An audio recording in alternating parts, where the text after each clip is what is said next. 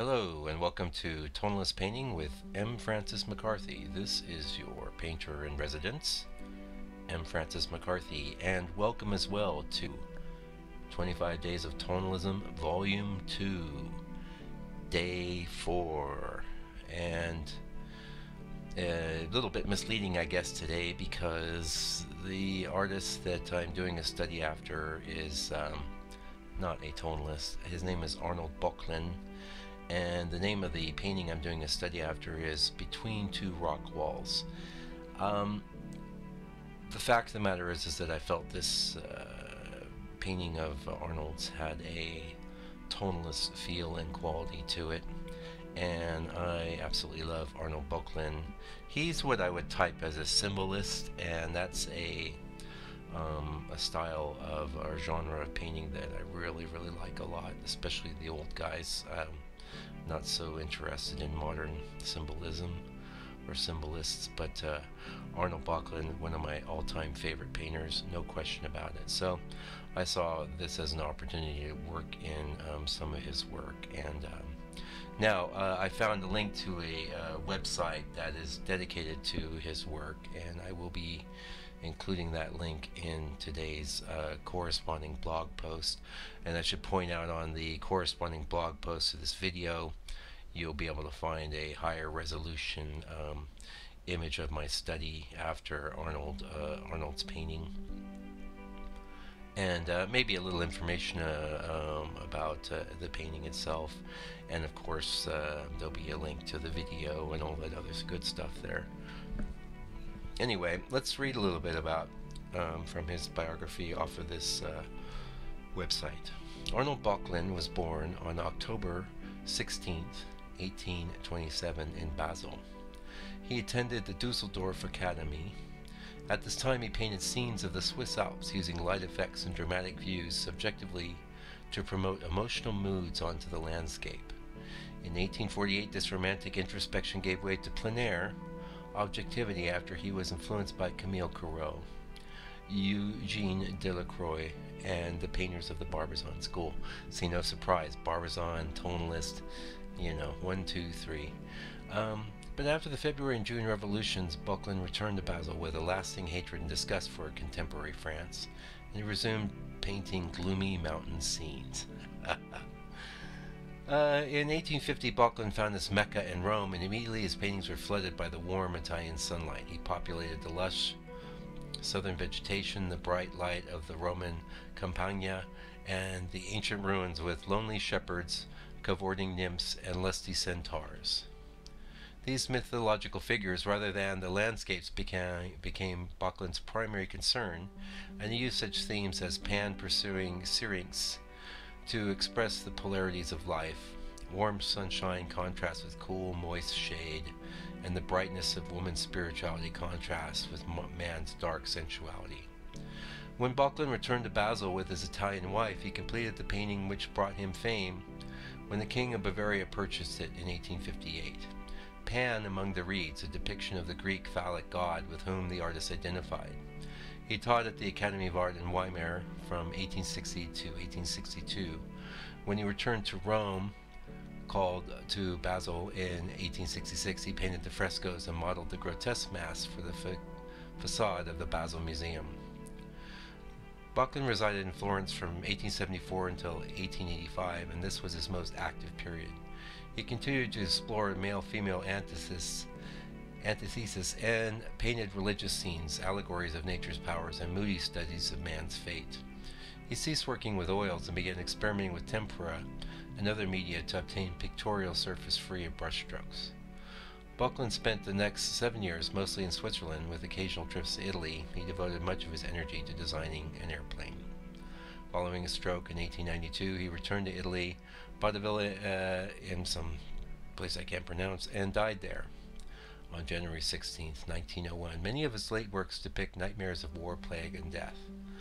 Now, what this uh, little bio failed to mention is uh, paintings of his like Isle of the Dead and his real symbolic uh, symbolist work, which is what I am pre predominantly familiar with, and I can see that there are often scenes of pious women um, in his paintings, but uh, there's a lot of mood and atmosphere.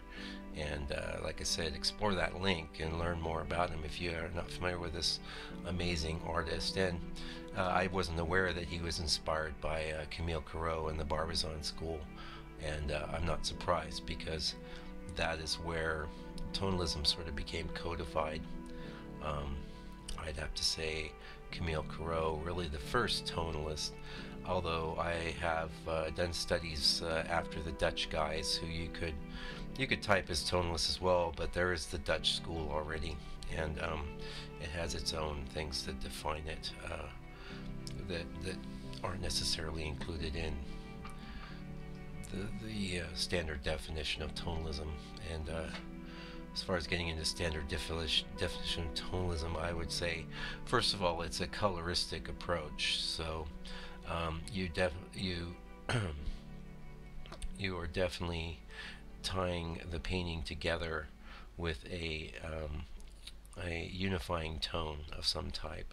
This can be accomplished with glazes or uh, most often I accomplish it just by setting out to have all my colors relate to each other on my palette. Um, and then of course I can always do a little glazing too, you know. But um, it's color and then subject matter. Um, landscapes usually with no people or very minimal people and um, the people aren't the subject of the painting and uh, and it's all about capturing an evocative mood and a feeling and um, in this way differs from impressionism which you know of course captures a feeling but those feelings are generally one of a bright day uh, you know, like a picnic or something like that and there's nothing wrong with that I'm not dissing it um, it just doesn't resonate with me as a artist uh, it's not the way I want to work um, anyway, so there you go. Now, uh, we've got about, ooh, I don't three or four minutes left in this video here. Uh, what's happening in the studio. Um, I have uh, finished some paintings recently, which I photographed uh, last night, including a study of uh, John Francis Murphy I did for somebody. Um, and uh, four other paintings, which, you know, pretty okay, you know. Um, none of them are stupendously, awesomely, amazingly great, but uh, none of them are super bad. So um, it's just adding to the body of work, and that's good. Um, I'm always trying to move the, I'm always trying to, you know, move those goalposts a little further down the line, and uh, um, but yeah, I'm not so bothered by not having, you know. Uh, masterpieces per se. I'm concerned with creating a body of work, and uh, to me, it's all about painting every day and trying to get better. And like I say, moving the goalposts, trying to trying to paint scenes that are better, um, that are more evocative, um, and of course, I'm always endeavoring to work larger these days as well. So.